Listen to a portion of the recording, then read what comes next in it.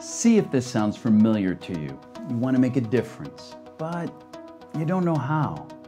You want to change the world, but you're not sure if you can do it all on your own or what it takes.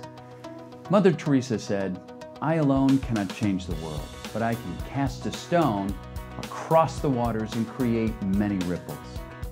You can make a difference today in the lives of the poor and homeless right here in Cumberland County.